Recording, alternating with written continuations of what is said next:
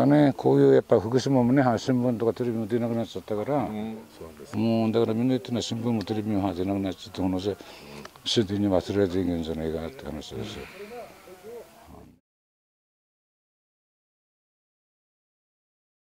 あとあれが5本まずあるあるだけで、はいはいはい、だけど全部松林だったんですよ。そうですね。ここに6、70件うちあったんです。これ全部やられたよね。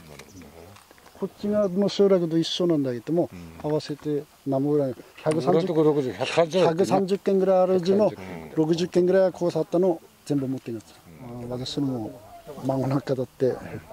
ここにいられないでね宮城県の名取屋でに今住んでるんだけども息子は消防だからしょうがなくてこそやけども離れ離れ3か所に分かれて生活してるって全然味気ないね。退職したから ああちょっと孫のお守りしたりうちの役に立とうかななんてね。この4月から1年生に上がる孫もいいんだけどもこういう接点がなくなったっていうのが一番つらいな、あの金なんかよりも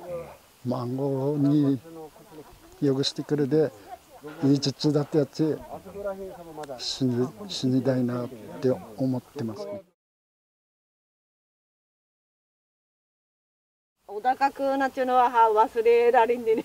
うんね忘れられてるよね今分はね片付けも進んでないしね。